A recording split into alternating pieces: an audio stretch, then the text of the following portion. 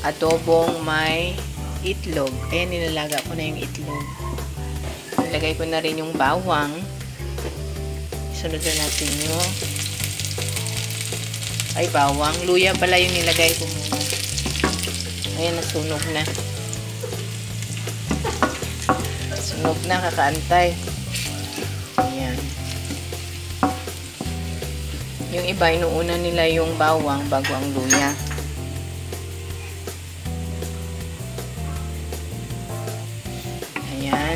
Brown na rin yung bawang. Napakabilis. Ilagay na natin ang ating sibuyas. Very simple lang ito mga kapatid na adobo.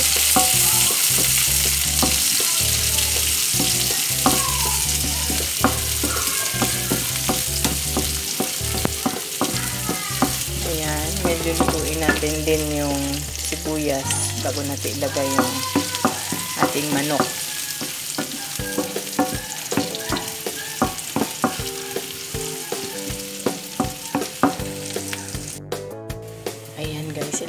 Natin yung ating manok.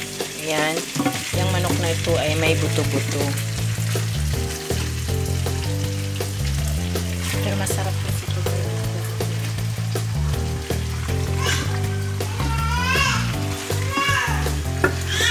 Tapos, hayaan natin um, lumabas yung katas niya para yun yung panlasa.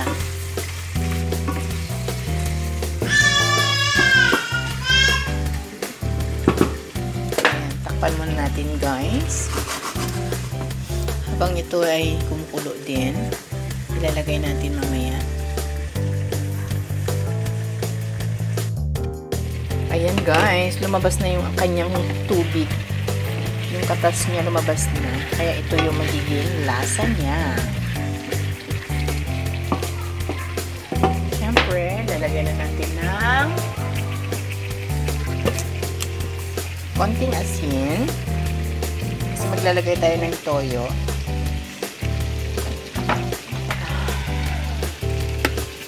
Paminta. Medyo marami yung paminta. At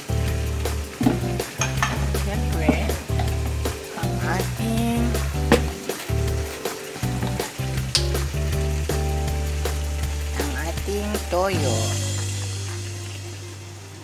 Ayan.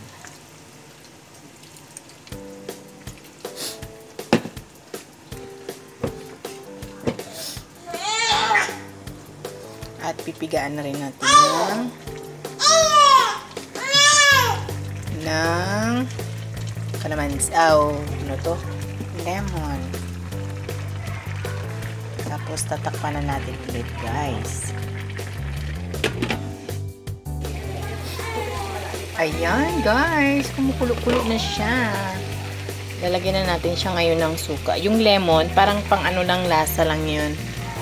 Ayan, lagyan natin ng suka. Kahit anong suka nilagay nyo, bahala na kayo sa buhay nyo. Tapos, syempre, ihalo muna natin.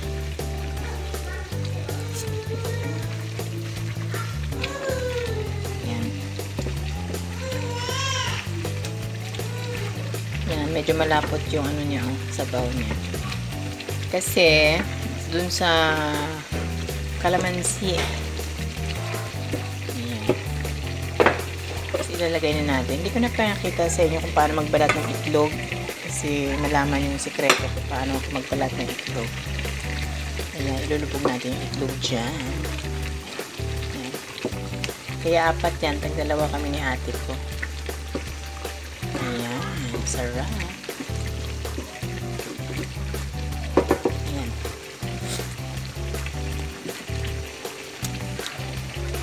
Manamis-namis guys kapag nilagay nyo ng um, lemon. Kasi parang nag parang nag ano yung lemon sa mga spices na nilagay natin. Parang nag-away sila. Ang kinalabasan, tumamis. Ayan, takpan na natin ulit. Pagbukas ko ulit dyan, luto na yan.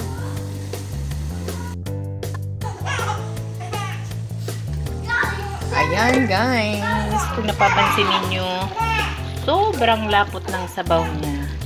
Ayan, kasi hindi ko siya nilagyan ng tubig. Yung sariling tubig niya lang yung ginamit ko. Pinalabas ko yung katas ng manok. Kaya ayan, luto na. Pwede na tayong kumain. Stay natin ng konti.